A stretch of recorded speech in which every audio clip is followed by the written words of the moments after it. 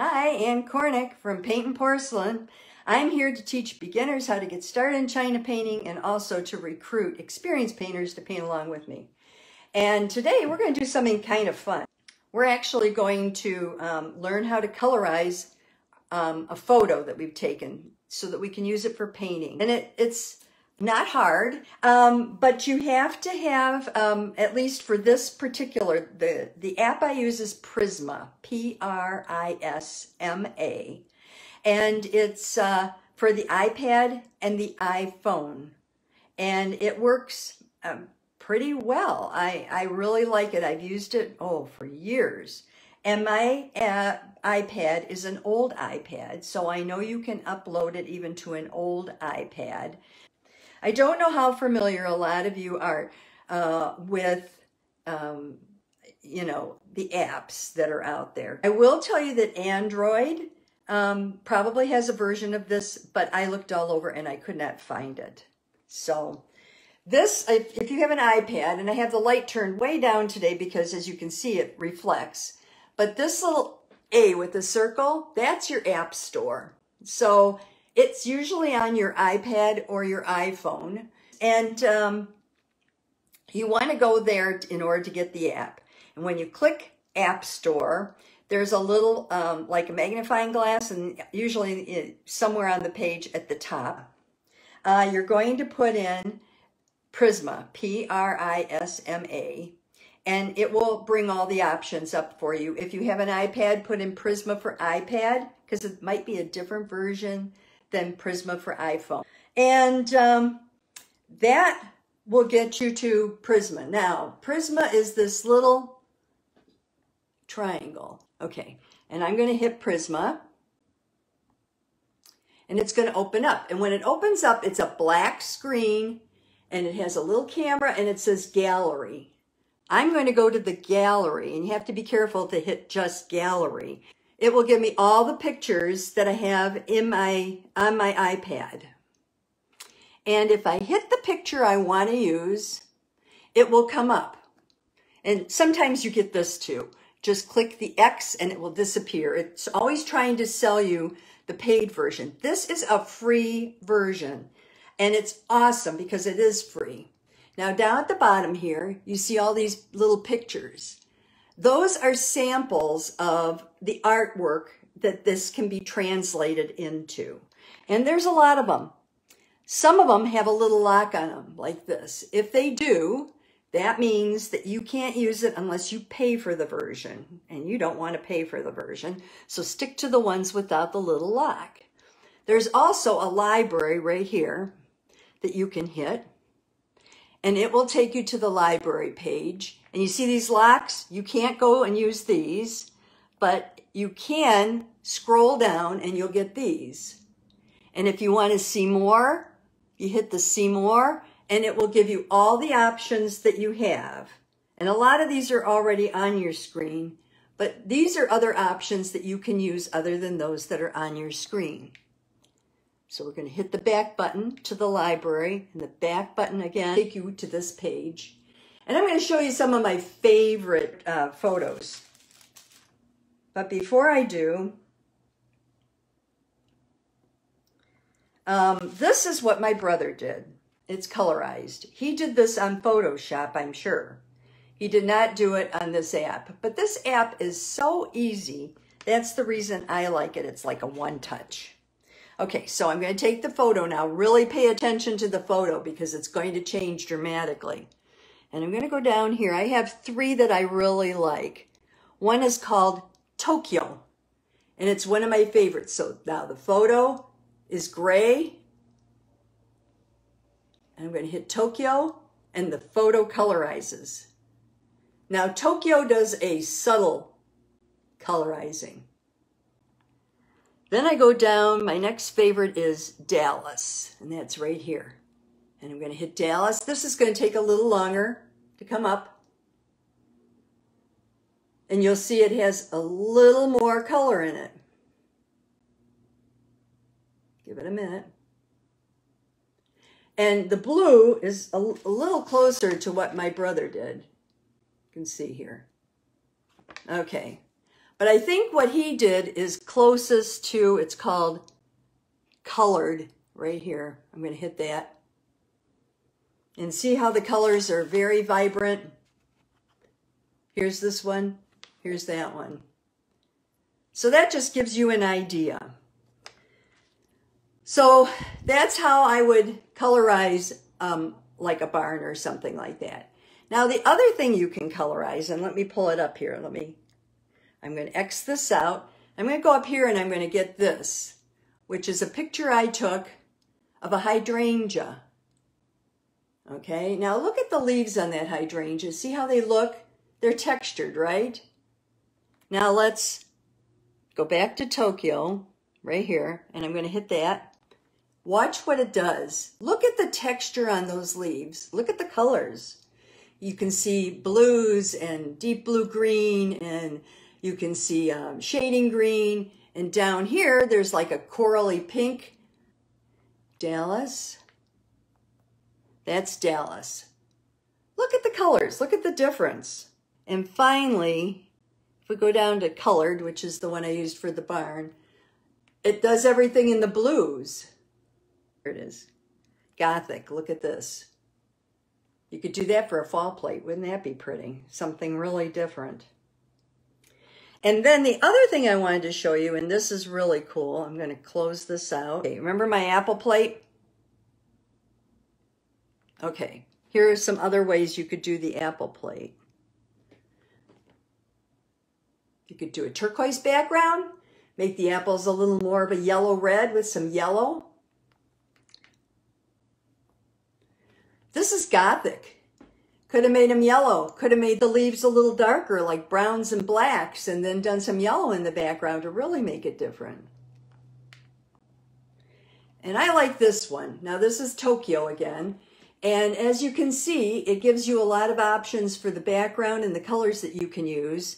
But the other thing it does, and let me just increase this here. Do you see how it shows you where the highlights are on the, on the leaves? It shows you where the highlights are on the apples. And let's get some leaves up here. Look at those leaves. It really helps you with where the highlights are and colors you could use. You can see it has a chartreuse, a moss, um, almost a blue-green, um, a deep blue-green, a black-green. I mean, there's tons of colors that you could use there. That's the Prisma app that I use to help me colorize some of the photos that I want to work on. And it helps me find texture, helps me figure out some new colors I can use. And it also helps me uh, with uh, where the highlights go on different pieces. When I take a picture and I'm working from a, a flower or something like that, I can, I can use that to help me. So this is uh, a tile that I bought at a secondhand store. It had a tile in it, a six by six. I know that's what my tiles are. So I bought it, I broke out the tile, and I painted this black. And then I'm going to put the final product in there, and you see it's really going to look sharp. The colors for today um, will be egg, um, yellow red. You can use baby blue if you're just using a, a regular beginner's palette. I have two other colors. These are Paula White's colors. Here, let me turn this up a little because we're kind of dark here. There. These are Paula White's colors. One is Tahiti and one is cool green. And this is actually, even though it looks it looks like egg, it's sunflower. Those are all Paula White's colors. When I, I, I just love her colors because they're very vibrant. Moss, black, and yellow brown, which you can see is very close to the egg too. So the way I did it so far is I traced it on. Now, to trace it on, you take your your picture. You shrink it if you have it on a computer, like a full page, like the one I have behind me here. You're going to shrink it on the computer to the size you want it to be. You're going to take any transfer paper you have. This is Saral wrap. The darker side goes down on the tile. And then you put the, um, the piece that you're tracing over the top, which is what I did. I used a ruler to help me trace some of these lines because I'm not very steady at times with my hands. And so I like to make sure that I get things to look fairly clean when I'm first doing them. But this is a, a rusty old broken down barn, so the lines are crooked, big deal. Um, and then it was all red originally from the transfer paper. And then I took my pen and ink and I used black paint and just took my pen and mixed it with the pen oil and, and did this. Now, for those of you who are beginners and don't know how to do this, I'm going to tilt you down and that's where we're going to start. So I, you, you, I usually mix my paint the way I normally do, but you can start from um, powder if you want. And sometimes that's easier, but I'm just going to start from the paint that I already have here just so you can see as an example. And I put it down like that. And I have two kinds of oils that I can use. AMP5 Easy Flow. I get it from Dallas, China. And this is AGS 21 drying oil, drying pen oil. And I also get this from Dallas, China.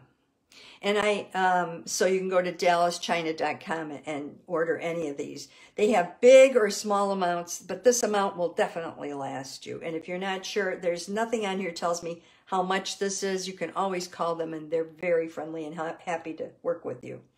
Now, I would mix the drying oil. And the reason I say that is because when you're working on this piece, because it's all lines, if you're right-handed, you work from left to right. If you're left-handed, you work from right to left to keep your hand out of your work. The drying oil as you work from right to left will dry to the point where you could just even put your fingers on it by accident and it won't change what you put there. So that's the reason I would recommend it. You're going to take, um, I use my palette knife, put a little on your palette knife, just mix it in. I think that's a little too much, so I'll take some off. And you want it soupy. And this is what I mean by soupy. And one way to test it is hold it up and it should kind of just barely, it is, see it's forming a drip, drip off the end like that. Did you see that? Yeah. So that's how you know that it's ready to use. And then I use a pen. I like these pens. You can get the pens with the wooden bottoms on them. The nib is what's important. The nib is the nib is a 102 that I use. And if you're uh, using and you're you're you know getting the paint on and trying to get it to come off and you know your paint is good, and you you know that it's your china is clean and that it's not something on the china that's holding it up, chances are it's your nib. It might be broken, it might be worn. So always keep extra ones. Mine's, like I said, a 102. And I just scoop up the paint with the side of my nib. I test it on my tile by touching because otherwise you can get this monster glob and it's really hard to fix. And then I just draw right on my tile.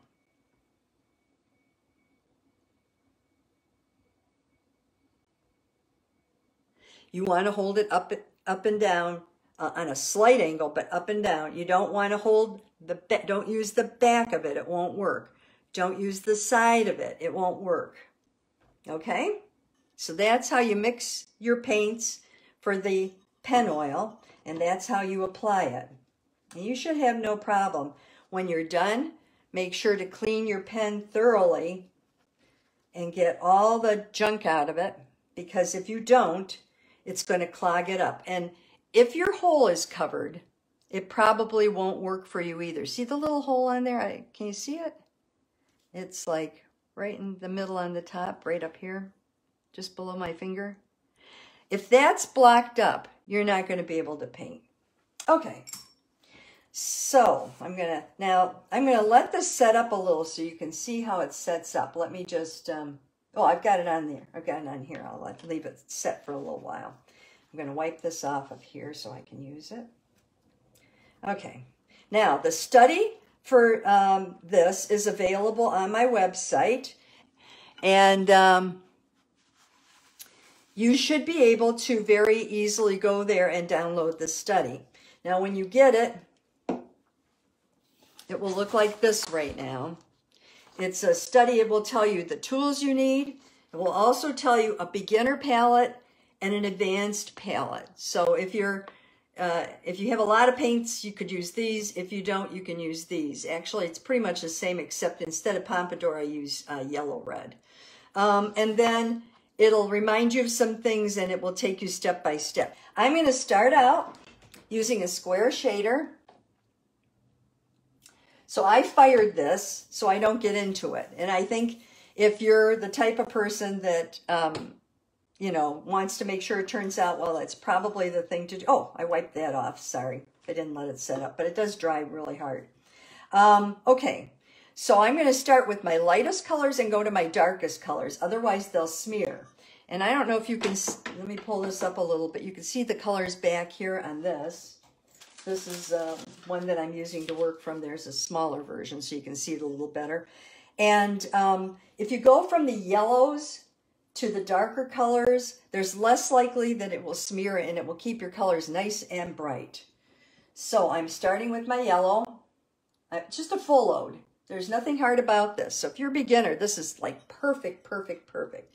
And I'm just gonna, I'm gonna kind of put it on here and I'm looking at my study and I'm putting the yellow wherever it is on the study.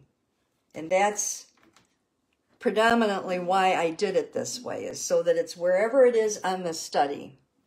Um, so we have yellow up in here, and you can go across them. You don't have to just go to one or two of them. And we're going to bring the yellow down in here a little bit because there's a lot of yellow up in here. And we're going to bring the yellow over on this side of the barn. There's some down here. And I'm going to have to add a little bit of oil. And we're going to put a little down in here. Make it as dark as you can. Wiggle. Do you see how I'm wiggling in that paint so that you get some nice dark colors there? I'm going to put some yellow there, a little yellow here. And then I'm going to put some yellow, um, let me see, I'm going to put a little more yellow up in here and a little more yellow here. I'm just going to brush it in a little bit. Okay, so I'm looking at my picture. Here's my picture. So I've done the yellow that's here and here and a little bit here. So my next color I'm going to go to is the red on here. Now, clean your brush because you want the red to be vibrant, totally vibrant. And so you're going to get into your yellow red, wiggle it a little bit. Up in this area, it's going to be very, very dark. So up here, it's going to be dark. And you can kind of go across it because eventually, as you can see from this picture, we're going to be putting black over it. So it really won't matter how much red you put up there. You're going to be putting black over some of it and you bring this red just down into the yellow. And you can use the side of your brush. You can use a smaller brush if that works for you. And you're just going to bring the red down. And you're going to put a little red up in here. And just sort of chunk it a little bit like I did there because, you know, this is going to be um, this is falling apart, coming down kind of barn. Okay. There's red up in this section. I think you can see it right there pretty well. And it comes on the inside. Well, here it comes down the middle. So I'm just going to tap it down the middle. Over here, it's on the right side. So I'm just going to tap it, tap it, you want to be real, you know, falling down kind of barn color-ish. And then I have a little bit right here going over towards the window. A little here. So it's right on top the window. And then under the window, I'm going to do it all in red. Because we're going to be putting black down there on the second coat. Okay, now I'm going to turn it upside down. I'll show you what I'm doing next. I'm going to do the red that's up here at the top and down the side and a little bit over here. I think this is easier for you to see the bigger one now that I've pulled it closer. So um, let me move my paint out of the way. You probably don't need to watch me, my, me use my paint now, and that might help. So this is what we're using as our guide. We're going to turn it upside down, and we're going to be putting the red up in here and down this side a little bit, right here.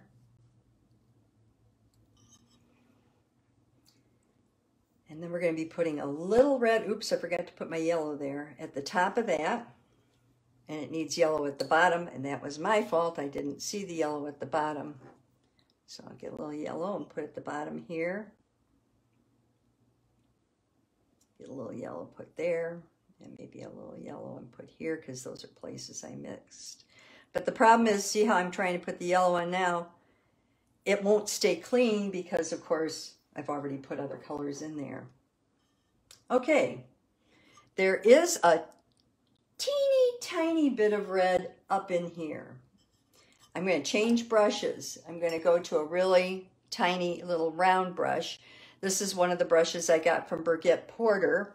Um, uh, she has a bunch of them. They're, um, I think, Danish or French, and you can order them from her online.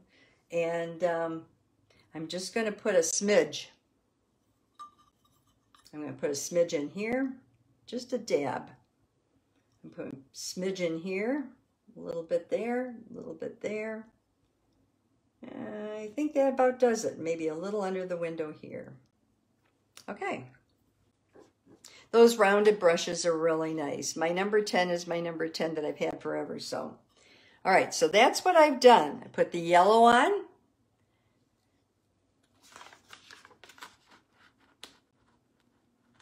And then I put the red on. Okay, next color now. You could go green or blue. I think I'm going to go green because there's not a lot of green in here. Let me show you where our green is. So there's there's some green up in here. There's some green up in here and down this side, over here, down at the bottom, and right back here. There's a little green up in here, not much. And you can throw it in pretty much anywhere you want. So if you can see it here, here, here, here. It kind of comes up from the bottom, but then up in here I have a little green and a little green here and there. So I'm going to go to my moss because my moss green is pretty vibrant. If you have a, a different green that's more vibrant than the moss, please feel free to use it. I'm going to do it here, here, just try to put it on um, dark, not thick, okay? That's one of the things you want to do. I'm going to put it on up in here.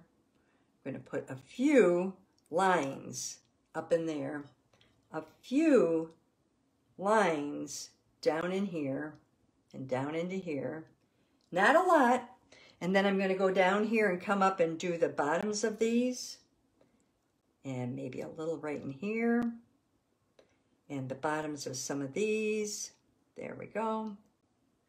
And then over on this side, I colored it the wrong color, so I'm just going to put a little green over it.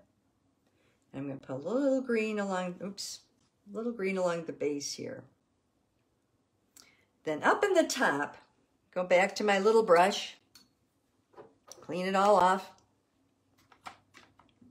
Get my little brush. So that's what I've done so far. I've done the bottom. So almost like the grass growing up. But the grass in this case is actually um, in the, done in the yellows and greens. So I did a little green down here. I probably could do a little more over on this side here. Oh, that's too dark. I do want it dark, but you know, we've got another whole coat to go. You don't have to do it too dark. So if you do want to put a little green in the in the grass, you can like that, like that. This is impressionistic personified. So you're just putting the colors in wherever you want it. And the fact that you already have the lines in is going to save you a multitude of problems because you won't be messing up those lines. Obviously, you couldn't do these both together on a first coat. And now I'm going to put a little, just a little over in here. And maybe a little up in here. And there's a little up in here. Okay, that's it. I know some of you are going, oh my God, what is she doing? Okay, the next color I'm going to use, for me, it's going to be um, the Tahiti um, because I think it's the closest to the color my brother actually colorized this, and that's what I'm going for. But for you, it can be the baby blue, and you'll get an equal color. And let me show you. Here's the baby blue. And uh, this is well, this door here has some blue on it. Oops, I didn't leave enough space. Let's do this one here. This has blue on it. Mm -hmm. I'm just coming, using the, the side, the tip of my brush to come down because it's kind of a big brush for this. And then I'm going to do the same thing on this. Now this is baby blue. Now let me switch and I will use the Tahiti that I have. And if you want to try bright colors, I will say Paula White is the brightest colors I know. I'm going to put it here. Oops. I guess I should probably do it this way. God, must have green in my hand. Okay, I'm going to put it on this little window here because the whole window is blue. Up, up, up. Come on.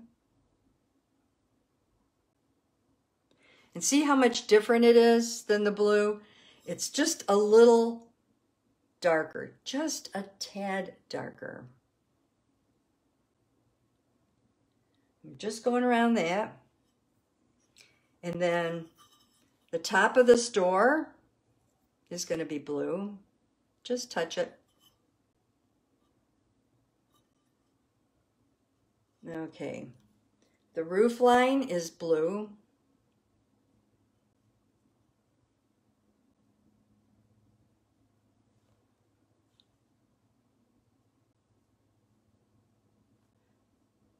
I think this is kind of fun, actually.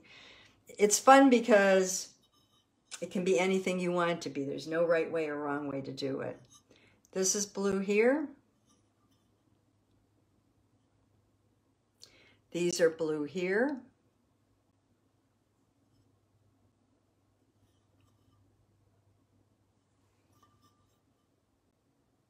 Okay actually most of everything that you still see as white is blue or, or it's going to be black. This is blue.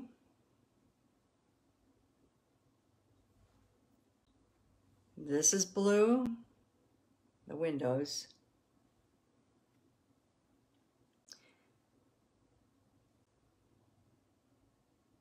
This guy's blue. This guy's blue a couple places, but it's white in the middle, so leave it white. You can leave white on here too, because the black's going to go in behind this. There's a little blue at the base here, little blue at the base here.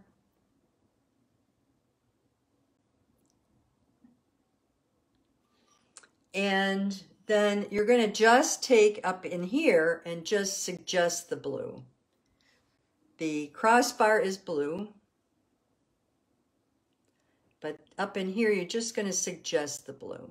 You can fix it on the second fire when you see how it's going to come out. And then I would put just a little blue in with the green over here. Like that. And a little blue up in here with the green there. That's the roof. Okay.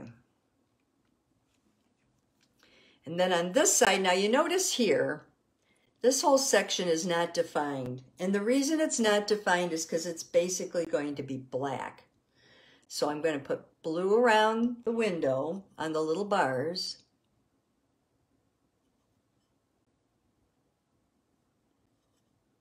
I'm leaving the top of it white. And then I'm going to put blue under the window. I'm going to put blue down here. I'm going to put a little blue on these guys.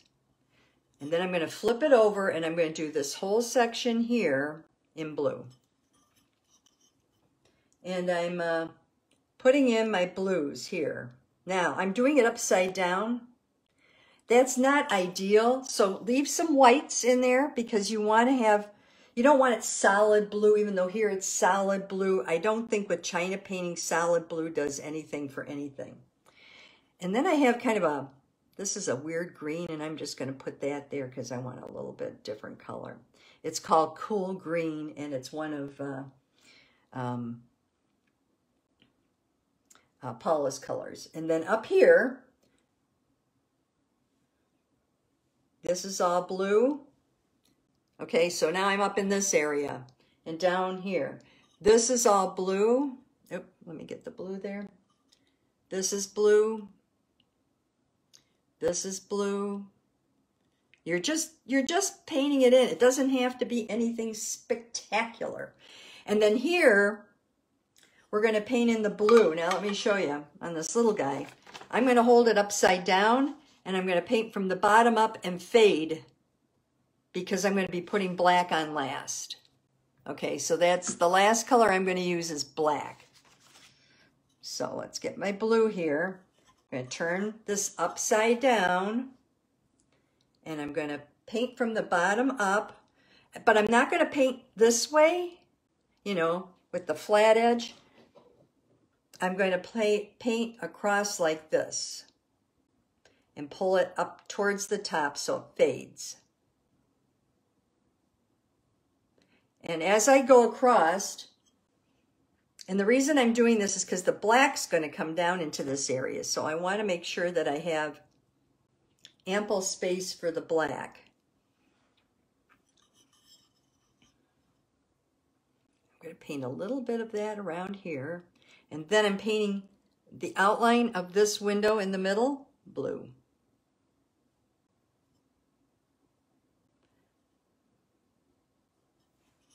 Pretty simple. I think anybody could do this because it doesn't require a lot of technique. It just requires a lot of imagination. And if you want to do it from the bottom up, you can do it like this. But see, I shake like a, like a leaf when I do that. Okay, here we go. Keep the colors as vibrant as you can, but don't get them too thick. You just want them vibrant. If your colors start getting too thick, clean your brush.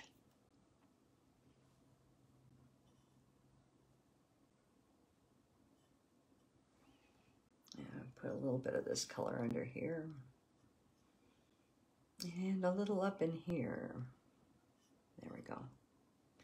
Okay, so I bet you can guess what colors we have left. Okay, the color we have left is black. This is go. Oh, I've got a little more blue up in here. I forgot about them. Right up in here. Okay. This is going to be tricky. I'm going to use a brush that's fairly easy to control. That's why I'm using this little rounded one. Um, I'm going back to my square brush because I think I'm going to do the biggest areas with the 10, number 10 square shader, and then I'll come back and do the others. So we're in the black now. We worked from our lightest colors to our darkest.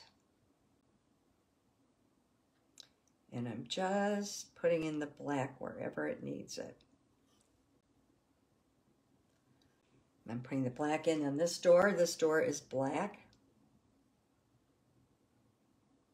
But try not to get into that green at the bottom.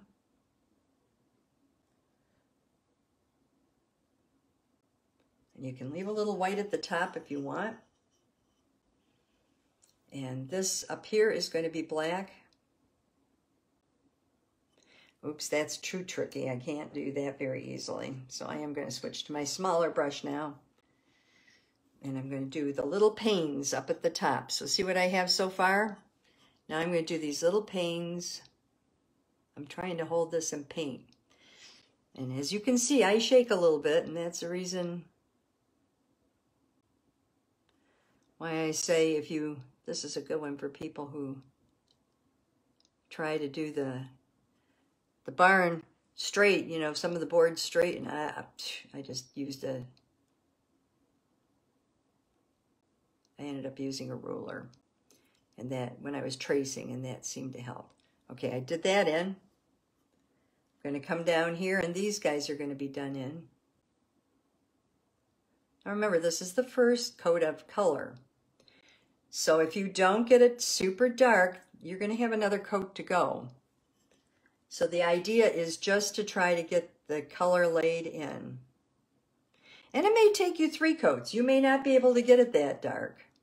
You know, so don't panic. I don't think you could wreck it on three coats.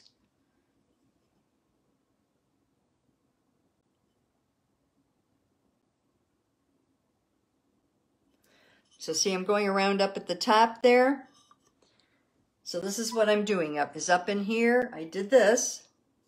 Now we're doing up in here. And then there's that section over here that I told you was all black because it's kind of falling in. So I'm going to do it all in black like this. But I'm going to leave these two here. Actually, they should have been blue. That's my fault. So I will go back and try to add some blue there. And I'm just painting it in all black. Try to do it fairly smoothly because the black is like a, you know, big shadow. And the, the um, windows here are black, except they have some reflective light in the back here. Can you see that? Um, I don't know if you can, maybe on this one you can see it. I think I'm just going to ignore that, but I might leave a little bit of white, but it's not easy, so I'm just going to paint in black. Remember, artistic license, you can do what you want.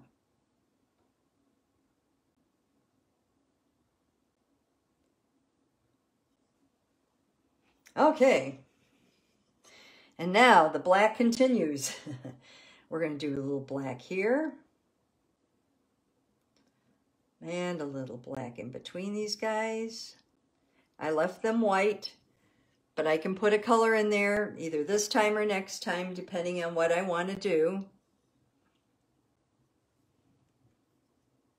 And then all these little triangles down here and squares are black.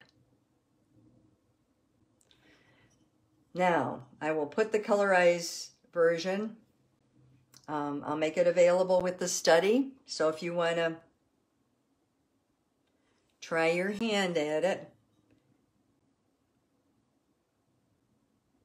You get the study, it's just $5 for the downloadable version.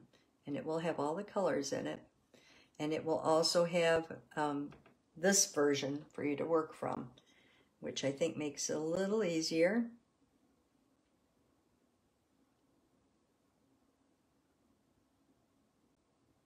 But I just didn't know any other good way of getting this out to people. Okay. I hope you can see what I'm doing.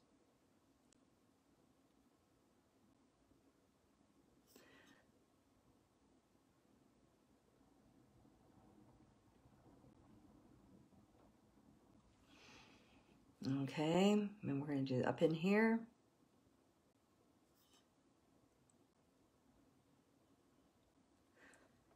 Down in here. Oh, need more oil. Keep it dry. If you get too much oil, what's going to happen is everything's going to start to spread. And you won't like that. So granted, this isn't your typical China painting exercise, but everybody's doing barns lately. I wanted to do a different barn. Okay, there's a window in the back here. Sorry, I taped that, so let me put it up here. See? It's in the back of the doorway. You can see the window. You can paint that in if you want. Um,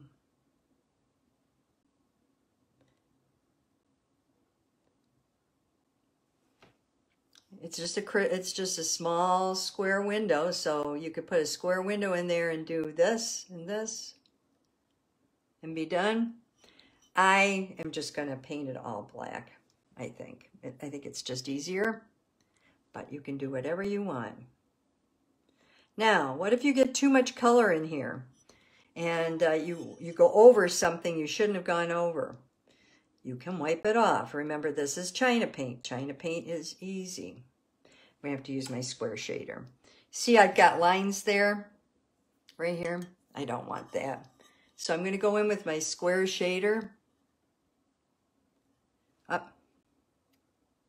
Get some color on there. And just pull it down. Make it a little better. Then I'm going to take really clean off my square shader because I just covered a couple of these. You see I covered a couple of those right there. And I'm just going to pull them out. There. Now, the roof up in here. This is all going to be black. You can do it on this coat. You can do it on the next one. But you're going to start at the roof and pull down, straight down.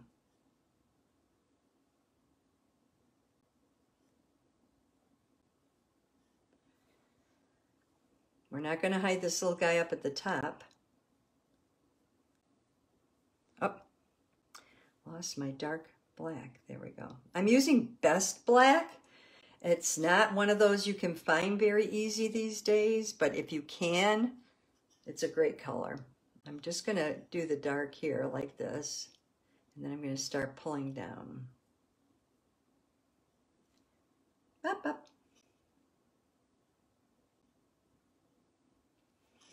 And then I'm just going to feather it. Maybe feather it this way. Oops, I'm sorry. Feather it this way.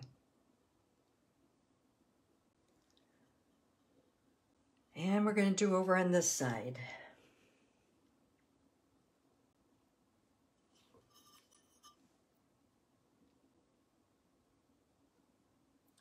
And up in here, I'm just going to Oh, wipe off. Okay, need a dry brush. If this happens and you get paint on there, use a dry brush, push it back. That will always help. Okay. I have a little black over in here under the window. I have a little black here under the window. Hmm. I think that's about all the black we have. So I'm going to go back now, look at my piece very carefully and see what I'm missing. And up here, the blue kind of got muddied by the black. Can you see on my ridge pole? So I think I really want that blue. I'm going to just go over it. And the same thing on this side. Pull it across, just go over it. Okay. And, um, oh, I think I wanted a little blue couple other places. Let me see where that was. Oh, right here I wanted a little blue. Here I wanted a little blue. Um, hmm. I think that's about it. Now, the only other thing I didn't do, and I should have done it first thing, was put the yellow across the bottom. This is all yellow down here.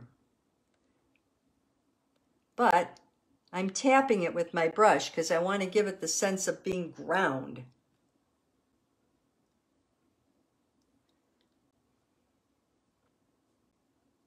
So I'm just tapping my brush across the bottom.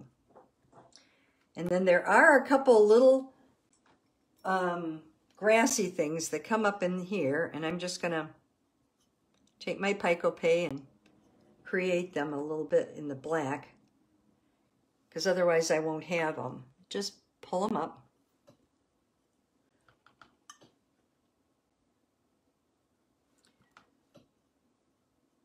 There we go. Okay. So here's what we're working from. Oops. You know what?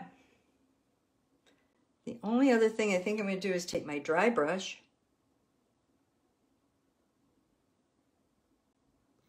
and tap across the edge. See these right here? See how it's just, it's a little too defined. I'm just going to tap it with my brush, my dry brush. And I'm going to do the same thing on the other side, and I think that will help it blend in a little more.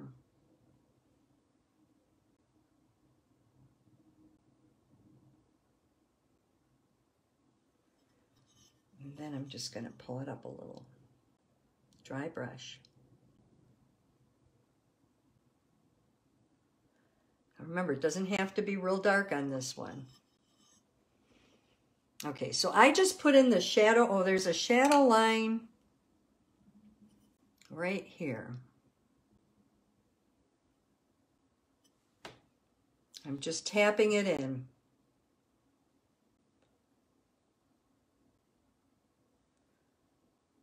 Uh-huh. There's a little black there. Remember, the black will always go over your stuff. So if you missed some black, no biggie.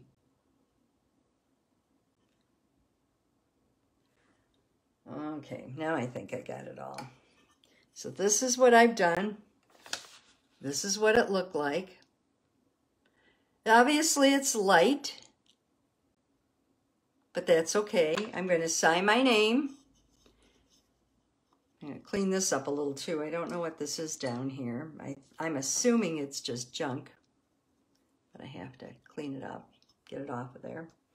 And then eventually it will go in my frame and it'll be a black frame. Okay. I hope you enjoyed it because it is something new and I thought it would be fun to do. And it just gives you some a, a, new way of tackling maybe some of those photos of buildings that you really like and that you'd like to be able to paint uh, pick up those brushes and keep painting. I hope you enjoyed the program, and I hope you'll take a minute to subscribe so that other people can learn more about China painting and we can get the word out to more people.